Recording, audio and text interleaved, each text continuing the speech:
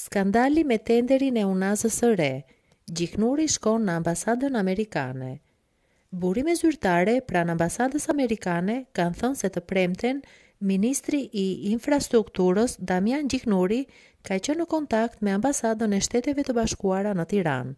Kjo ka ndodhur ndërsa ka dalë në skenë një fakt sipas të cilit Kompania offshore amerikane që ka fituar tenderin për të ndërtuar lotin e parë të Unazës së Re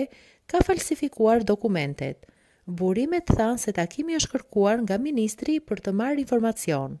Një ditë pas takimit me diplomatët amerikanë në zyrën e tij, Gjiknuri tha se në fillimin e javës së ardhshme presin përgjigjen e autoriteteve amerikane, nëse përgjigja do të konfirmojë falsifikimin e dokumentave nga kompania, atëherë pa diskutim do të reagojë menjëherë me zgjedhjen e njëanshme të kontratës dhe referimin e rastit pranë organeve të drejtësisë, ARRSH ndërkohë e ka pezulluar projektin për lotin numër një, Gjiknuri thotë se si ministër i është drejtuar autoriteteve amerikane për verifikim zyrtar të shqetësimit të bërë publik në media.